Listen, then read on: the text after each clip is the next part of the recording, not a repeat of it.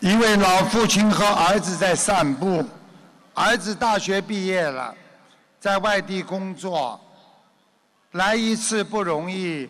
父亲呢，就带着他在他们后花园里走路。这个时候呢，啊，有很多啊鸟在叫。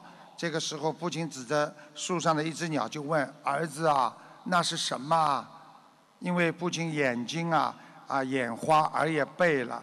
儿子说。爸爸一只乌鸦，连续问了几次，儿子就不耐烦了，回答声一次一次大起来：“爸爸，这是一只乌鸦，听到没有？”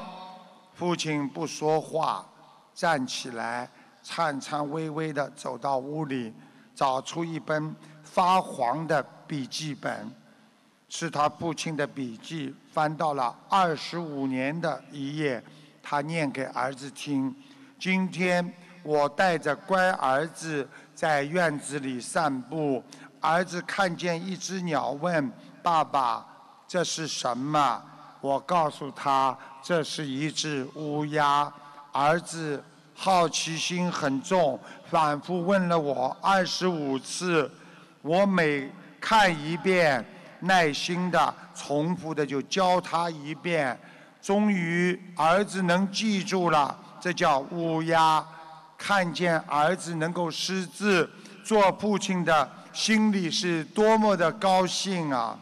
当读完这一页，儿子泪流满面，说：“爸爸，你让我懂了许多，你原谅我吧。”学佛人以忠孝为基础，孝悌礼义廉耻都要懂。所以，想学佛学得好的人，首先要孝顺长辈，你才能有学佛的基础啊！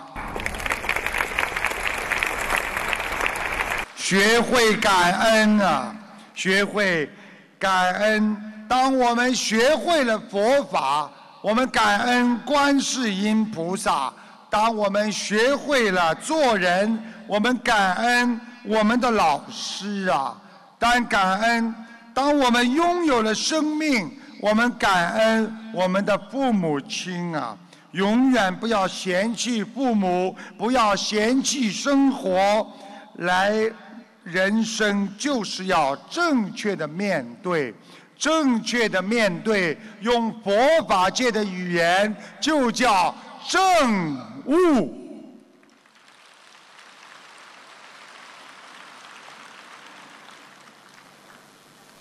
今天，啊，台长跟大家结善缘，有很多的我们的佛友和我们的朋友们，大家都是有缘众生。今天能来的都是和菩萨有缘分的，希望你们一定要听台长的话。这个人间真的有菩萨，真的有我们的因果报应。希望你们一定要好好的修，好好的求。你们一定要修成，一定要一世修成，因为我们不能再来这个人间的，人间太苦了。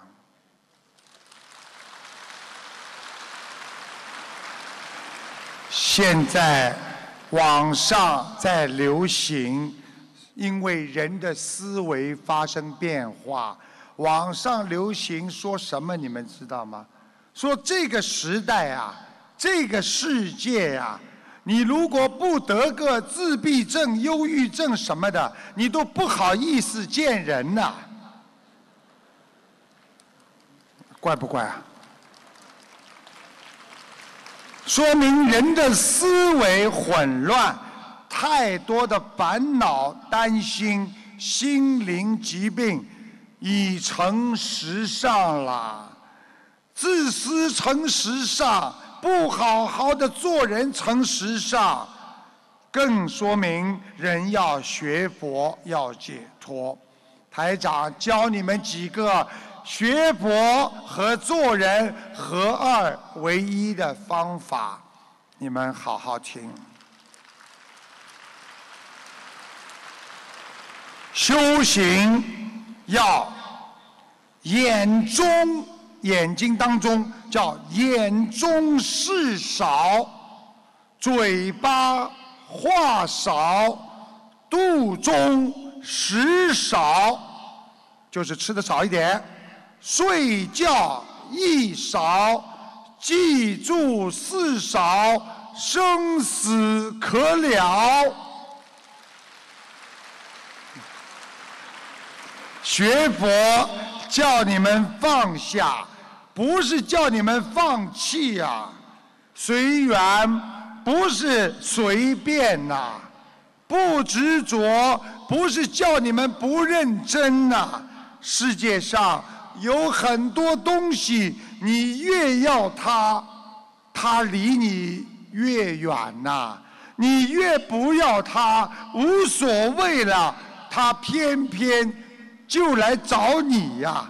你拼命的去争取都没有，你真的不要了，他就来到你的身边。因为懂因果，你就掌握了改变命运的方法呀！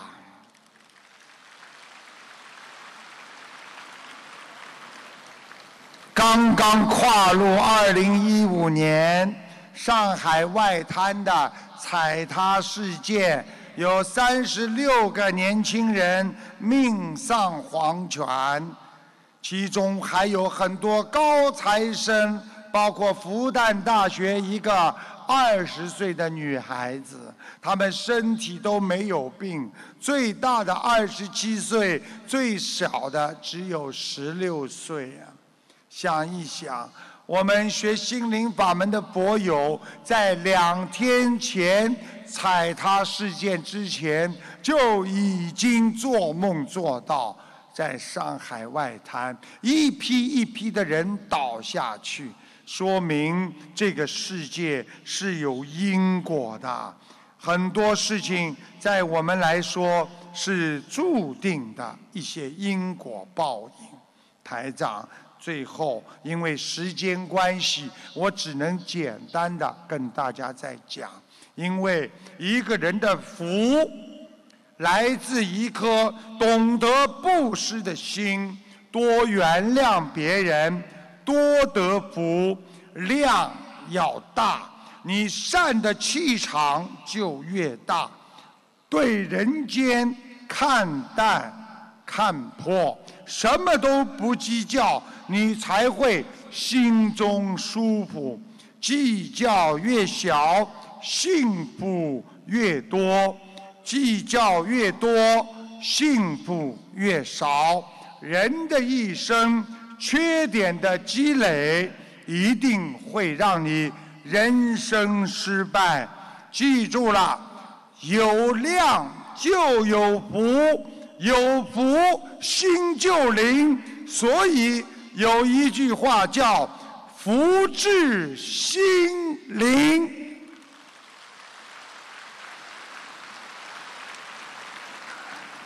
太多的东西要跟大家讲，但是台长还要给他留出很多时间，当场给大家看图腾。在这里，台长要告诉大家。看图腾只不过是一个方法，并不是目的。看图腾是要让大家相信这个世界上还有看不见的暗物质的存在，就如我们看不见的空气和电一样，还有风一样。台长告诉大家，在美国经常有科学家和。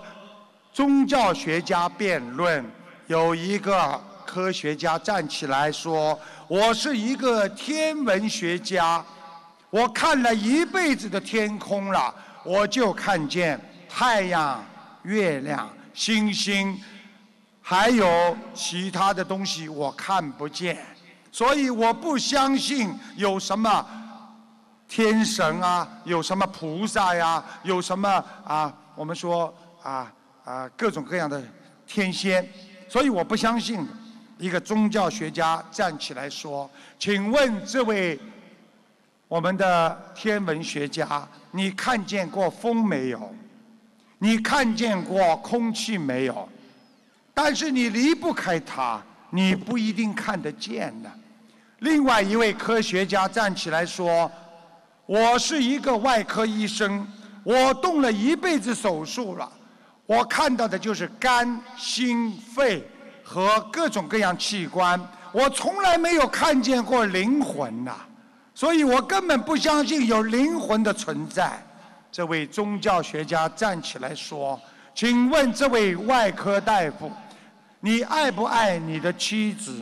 他说：“我爱。”你开给我看，你爱在哪个部位？希望大家好好学佛，相信佛法。拥有我们自心的本性，我们的本源，我们的慈悲心，在人间创造出一片美好的净土，让我们拥有这个世界上最可贵的东西，那就是慈悲。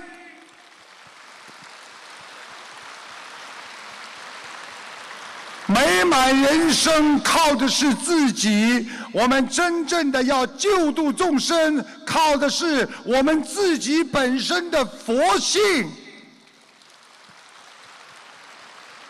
让我们一定要好好的学佛，好好的修心。谢谢大家。